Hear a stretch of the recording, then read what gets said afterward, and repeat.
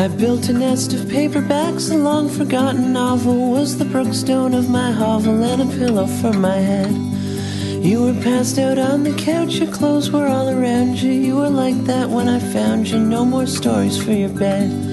That was how I left you in the middle of the night. Your shoes untied and your eyes shut tight, like birds of a feather that don't ever flock together. Sorry, but by lunchtime you'll be gone. I made a mess of every room. I finished all the chapters. They all echoed with your laughter. They all pleaded for your eyes. You were far away by then. I called you on the phone. You said that you weren't coming home, and I was never so surprised.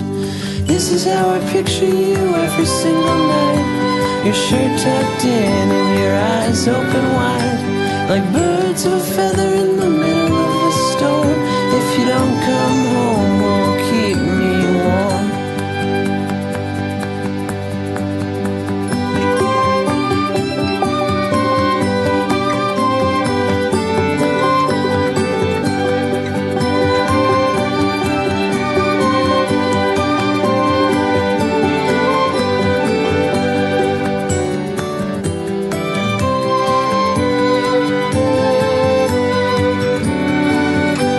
Like birds of a feather at the end of every book, like the godforsaken winter and all the summers that it took.